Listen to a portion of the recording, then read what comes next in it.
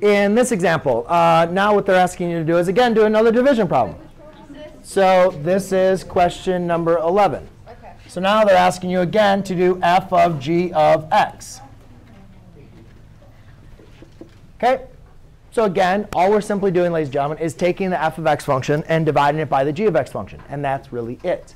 So therefore, I simply have 2x divided by the square root of x minus 1. Thought I did this problem.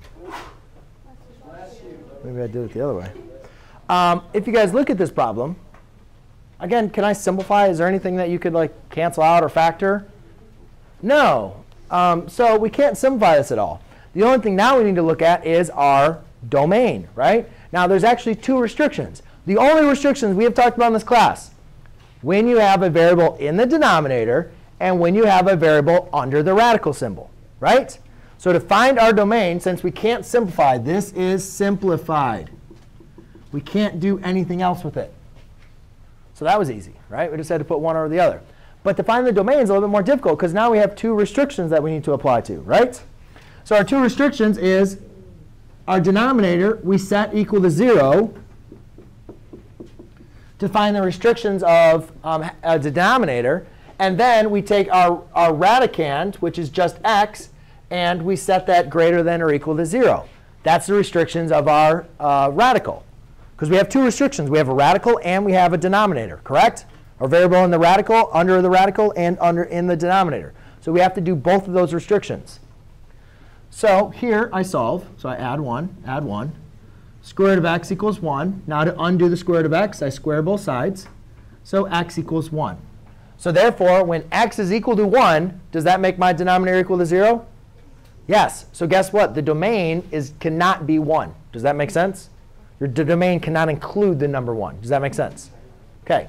The next restrictions. Again, what you do is you take whatever's under your radical, which we call our radicand, and we make it greater than or equal to 0. Because think about it. Can you take the square root of any number, any negative number? No, right?